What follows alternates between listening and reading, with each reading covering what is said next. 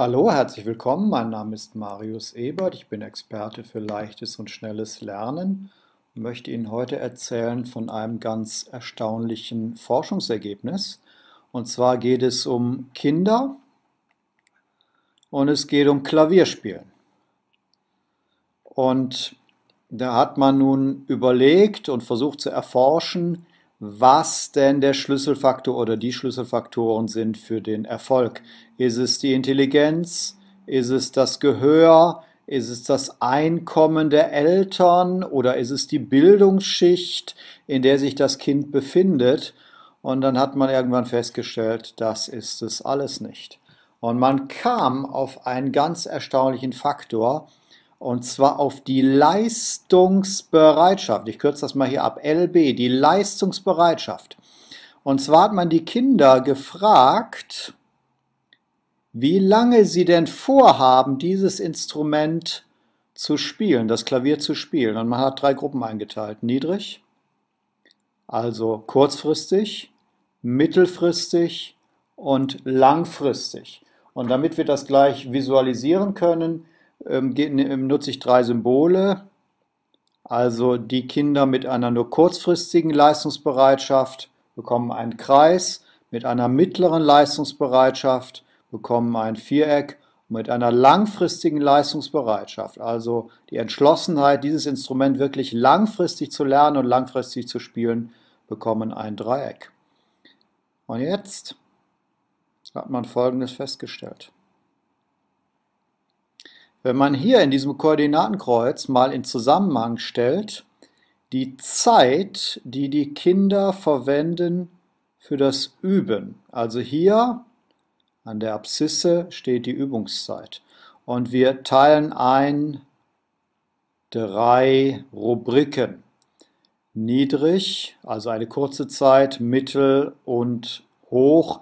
Niedrig das sind 20 Minuten pro Woche, mittel, das sind 45 Minuten pro Woche und hoch, das sind 90 Minuten pro Woche.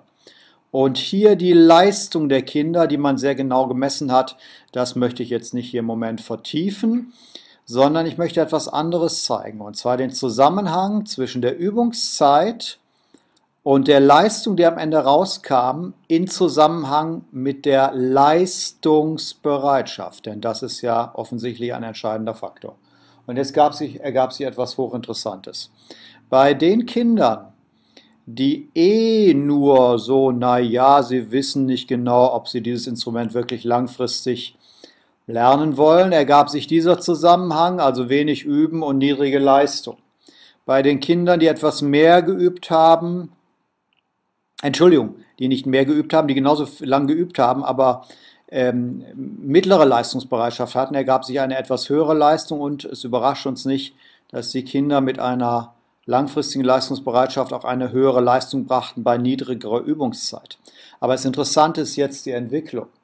Bei den Kindern mit niedriger Leistungsbereitschaft nahm die Leistung bei längerer Übungszeit statt 45 Minuten statt 20 Minuten sogar noch ein bisschen ab bei den Kindern mit mittlerer Leistungsbereitschaft stieg sie leicht an und bei den Kindern mit langfristiger Leistungsbereitschaft und längerer Übungszeit stieg sie schon relativ steil an, die Leistung. Und jetzt kommt das Dritte. Die Kinder üben relativ lange, 90 Minuten pro Woche. Bei den Kindern mit niedriger Leistungsbereitschaft ein relativ schwacher Leistungszuwachs, sodass wir etwa diesen Verlauf hier haben. Diesen Zusammenhang zwischen Übungszeit und Leistung. Bei den Kindern mit mittlerer Leistungsbereitschaft ein, ja, so in etwa linearer Zuwachs, also etwa so. Und bei den Kindern mit langfristiger Leistungsbereitschaft eine Explosion der Leistung. Schauen Sie auf die Kurve. Wenn also langfristige Leistungsbereitschaft und auch längeres Üben zusammenkommt, explodiert die Leistung. Sie sehen, ich müsste das hier eigentlich noch weiter raufziehen. Ja, die Leistungskurve explodiert. Und das ist schon doch, finde ich, ein sehr interessanter Zusammenhang. Vielen Dank, mein Name ist Marius Ebert.